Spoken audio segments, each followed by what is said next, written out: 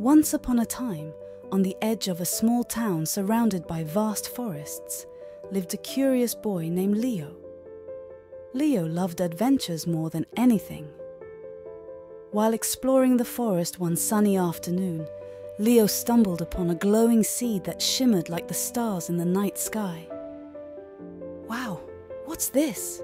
he wondered, his eyes wide with curiosity. That night, Leo planted the seed in his backyard.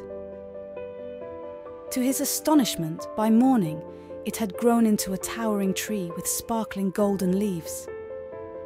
Incredible! Leo exclaimed, gazing at the tree in awe.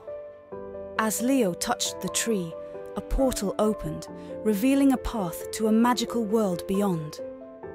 Without hesitation, Leo stepped through, his heart racing with excitement. In this enchanted world, Leo met talking animals who told him of a danger threatening their home.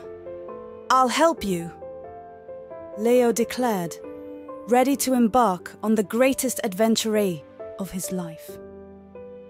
Together with his new friends, Leo faced challenges and discovered his own magic, a magic born of courage and kindness. We can do this, he cheered, leading the way. After their adventure, Leo returned home, the portal closing behind him. The magical tree turned into a regular one but left behind a golden leaf, a reminder of his incredible journey and the friends he made. And so, Leo learned that bravery, kindness, and a little bit of magic are in all of us, waiting to be discovered. The end. Thank you for watching. Like share and subscribe Tiny Tales Treasure for more exciting stories. Thank you for watching. Like, share and subscribe to Tiny Tales Treasure for more exciting stories.